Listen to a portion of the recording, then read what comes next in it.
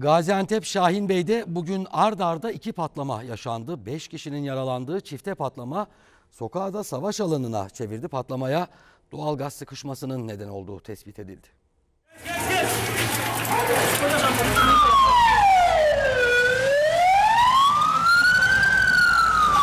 Araba havaya kalktı. Bu camlar, bu çerçeveler, efendime söyleyeyim bu PVC'ler hepsi aşağıya indi. Aynen öyle oldu. Önce rögar sonra da bir ev patladı. Patlama yaşanan sokakta taş üstünde taş kalmadı. Gaziantep'in Şahinbey ilçesinde rögarlar doğalgaz nedeniyle patladı. Sokak savaş alanına döndü.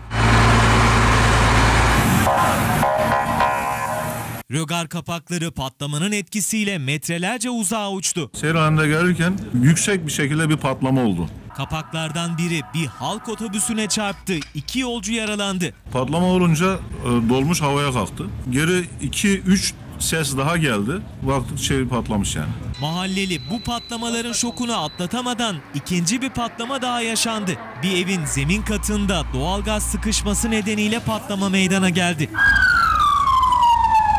Evin duvarları yıkıldı. Binadan kopan beton bloklar yola savruldu. O esnada sokakta olanlar büyük tehlike yaşadı.